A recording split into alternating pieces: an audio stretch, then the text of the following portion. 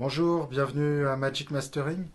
Aujourd'hui, ça va être une vidéo sur comment nous pouvons vous accompagner pour trouver le streamer qui vous convient.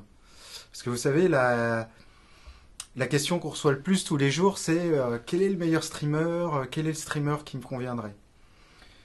Euh, donc ça m'a amené à quelques réflexions que j'ai envie de partager avec vous. D'abord vous dire que vous voyez ici, nous avons toute une liste de streamers que j'ai scrupuleusement testé. Ça m'a pris beaucoup de temps d'évaluer, de, voir, d'aller vraiment au cœur de chaque, chaque machine. Donc nous avons du Melco, nous avons du, de l'Inuos, du Lumine, de l'Oralic, du Stack Audio, du Sotem, du Wewerza. Donc vous voyez, il y a vraiment pléthore de streamers. Au milieu de cette pléthore qu'on trouve, j'ai fait des choix. J'ai fait des choix de, de sons.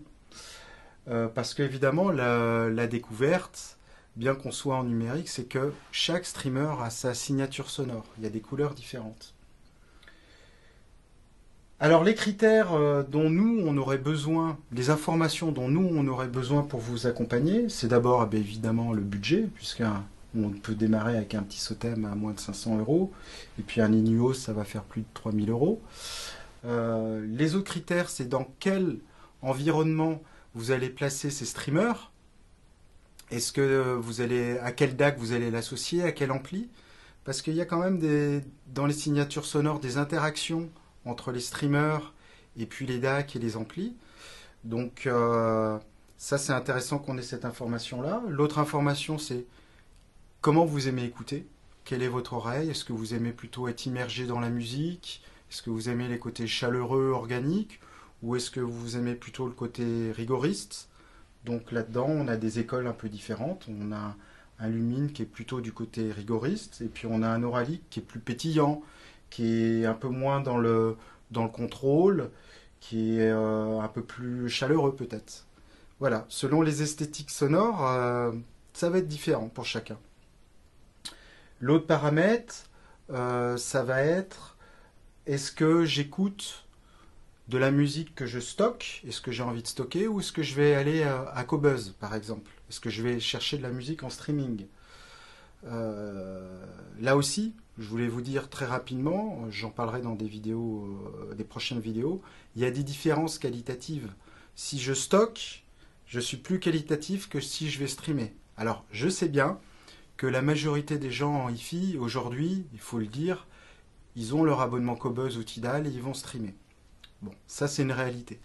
Après, j'apporte un petit truc qui me tient à cœur, c'est que ici, à l'origine, on était un label de disque. Donc, quand on stream, faut quand même savoir que les artistes, ils touchent peanuts. Quand on stocke, on est plus qualitatif et on rémunère les, labels et les artistes. Je trouve que c'est important aujourd'hui que les artistes qui nous font des belles musiques, qui sont une forme de qui apportent aussi à notre santé quelque part, à notre bien-être, soient aussi rémunérés. Je termine la parenthèse, c'était la petite parenthèse qui me tenait à cœur. Comme autre paramètre, on a aussi, enfin, je dirais, l'application. Là aussi, euh, il y a des différentes applications. Euh, nous avons des streamers dont les marques ont fait leurs propres applications et puis des streamers dont les marques n'ont pas fait encore d'application et dont il faut utiliser des applications tierces.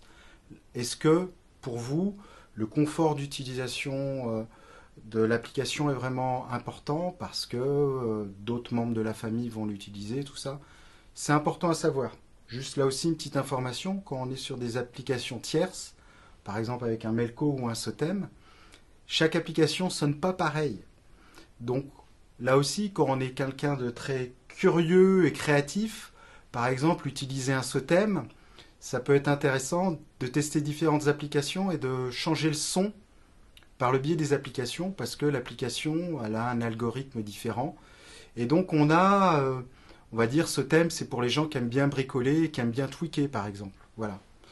Donc là, je vous ai fait une petite liste de paramètres qui sont pour nous importants à, savoir et qui vont nous permettre, finalement, quand on aura ces retours-là, de vous accompagner de, avec notre expérience, avec euh, toutes les recherches que j'ai faites, les tests à l'oreille, de pouvoir vous guider et vous dire ah, je vous orienterai plutôt vers euh, ce streamer-là.